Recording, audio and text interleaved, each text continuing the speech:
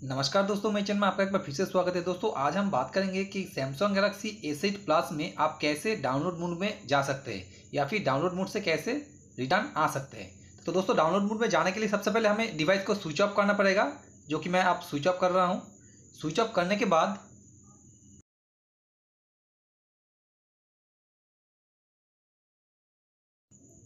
Mobile को switch off करने के बाद ये जो बिग्स बटन है, इस बटन को और वॉल्यूम डाउन बटन को और ये पावर बटन को, इन तीनों बटन को एक साथ हमें कुछ देर तक प्रेस करके रखना होगा। कुछ इस तरह से।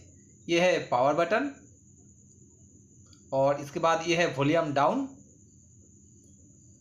और ये है बिग्स बी बटन। इन तीनों बटन को एक साथ हमें प्रेस करके रखना होगा कुछ देर तक। कुछ देर तक प्रेस करके रखने के बाद आप देखेंगे कुछ इस तरह का डिस्प्ले आएगा और यहाँ पे हमें वॉल्यूम अप बटन को प्रेस करके कंटिन्यू करना है।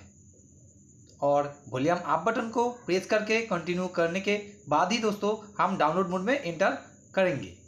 तो दोस्तों, आप देख सकते हो, आप इस तरह से डाउनलोड मोड में एंटर कर सकते हैं। अब चलिए इस डाउनलोड मोड से हम कैसे निकाल सकते हैं या फिर रिटर्न जा सकते हैं। वही सेम प्रोसेस दोस्तों पावर बटन उसके बाद बिग्स बी बटन और फिर वॉल्यूम डाउन बटन इन तीनों बटन को हमको फिर से वही कुछ देर तक प्रेस करके रखना होगा।